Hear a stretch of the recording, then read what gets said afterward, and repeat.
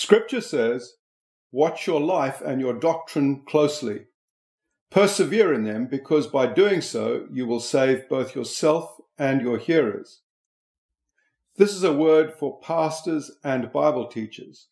It's also a word of caution for all believers in Jesus. The exhortation is to be careful how you live and what you believe and teach. Obviously, it's an ongoing struggle because it's necessary to persevere.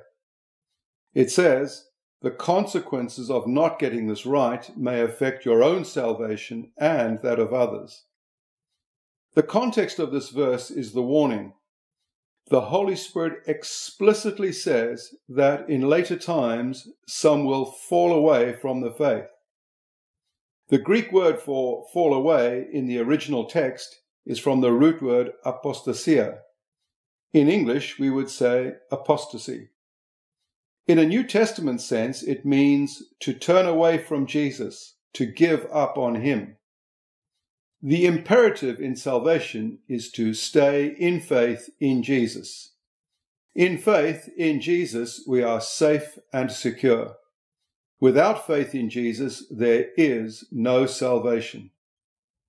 The New Testament shows the danger of not going on in Jesus. In the book of 2 Thessalonians, we are told, Let no one in any way deceive you. The day of the Lord won't come unless the apostasy comes first.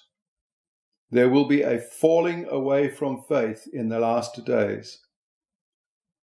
When Jesus spoke of the signs of the end of the age, he said, Many will stumble, and the love of most will grow cold.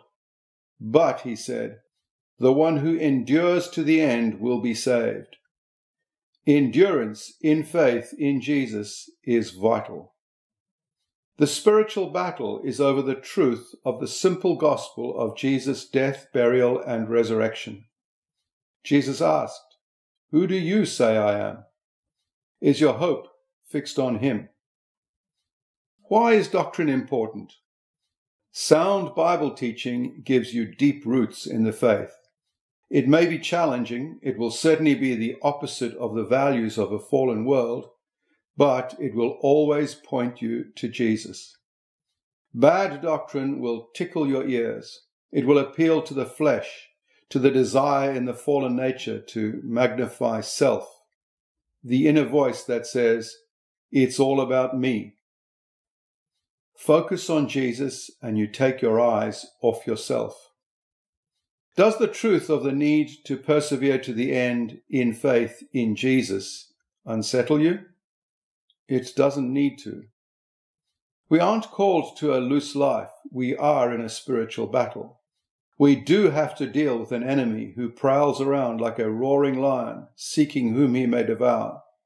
But we have a Saviour who is greater than all.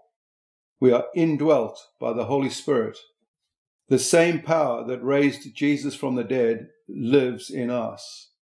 And we have proof in the Word of God that He is faithful. In this video series, we've talked a lot about God's purposes for Israel. This should be a comfort. God is faithful. He can be trusted to do what He says.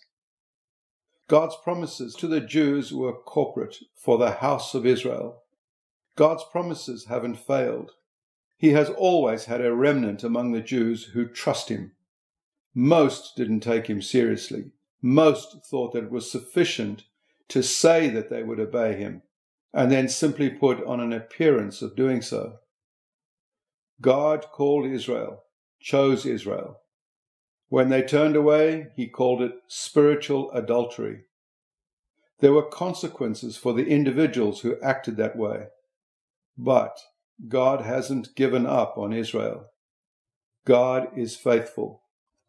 God is going to complete what he began. There will be salvation for the whole house of Israel. Trust in the Lord. Keep your heart soft. Seek more of the Holy Spirit.